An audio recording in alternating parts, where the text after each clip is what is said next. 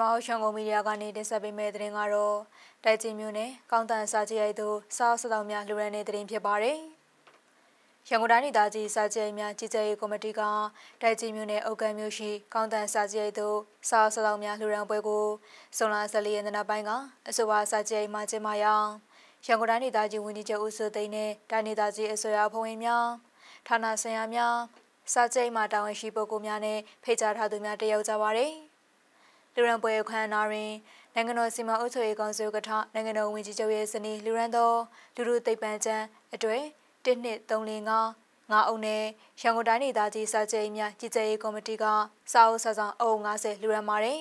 ။ဆက်လက်ပြီးရန်ကုန်တိုင်းဒေသကြီးဝန်ကြီးချုပ်နဲ့တိုင်းဒေသကြီးအစိုးရဖွဲ့ဝင်များဟာကောင်းတန်စာကြည့်ရရှိစာအုပ်စာဆောင်များကိုလှည့်လည်ကြည့်ရှုပြီး ရန်ကုန်တိုင်းဒေသကြီးဝန်ကြီးချုပ်ဦးစိုးသိန်းကအမတ်စကားပြောကြားရရင်စာကြိမ်မှုများအနေနဲ့ပြည်သူများနဲ့ကျောင်းသားကျောင်းသူများစာဖတ်အားကောင်းအောင်ကူညီပေးကြရန်စာဖတ်များပါကအရေးအသားအတွေ့အကြုံမှန်ကန်မှဖြစ်ပြီးစာကြဲကိုအလင်းရောင်ကောင်းစားရရှိရေးကိုဆောင်ရွက်ရန်နဲ့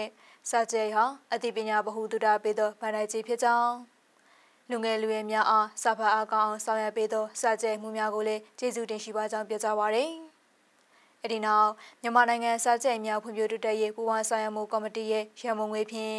တိုက်ကြီးမျိုးနဲ့အင်္ဂလာရက်ကွက်တွင်ရောင်စီဦးစာကြဲတည်ဆောင်မဲ့အလျာ60ပေအနံ20ပေမြေနေရာကိုကြည့်ရှုကလူဝဲတီများမှာကြပါရယ်ဆလဘီရန်ကုန်တိုင်းဒေသကြီးဝန်ကြီးချုပ်ဦးစိုးသိန်းတဲ့အဖွဲ့ဟာ2024-2025ပညာသင်နှစ်တိုက်ကြီးမျိုးနဲ့အခြေခံပညာနဲ့စက်မှုစိုက်ပျိုးရေးငွေမြေအထက်တန်းကျောင်းသူရောက်ရှိရာ ကျောင်းသားကျောင်းသူများစာသင်ကြားနေမှုကိုလက်လက်တရှုပါရယ်ကျောင်းဆီယမကြီးဒေါခင်မိုးအောင်ကကျောင်းတွင်စက်မှုကျောင်းသား80ဦးကျောင်းသူ20ဦးစုစုပေါင်း90ဦးစိုက်ပျိုးတွင်ကျောင်းသား18ဦးကျောင်းသူ17ဦးစုစုပေါင်း28ဦး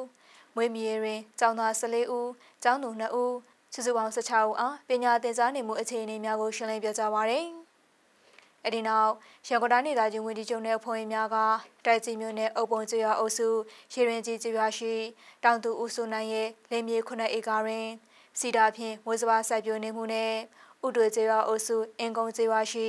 တောင်သူဦးတင်လှရဲ့လေမြေသုံးရင်ကားတွင်စီတာဖြင့်မိုးစပါစိုက်ပျိုးထားရှိမှုကိုကြည့်ရှုပြီးလိုအပ်သည့်များမှာကြားကြောင်းသိရပါရယ်ဒီသတင်းကိုတော့ဝင်းမင်းကပြပို့ထားပဲဖြစ်ပါရရှင်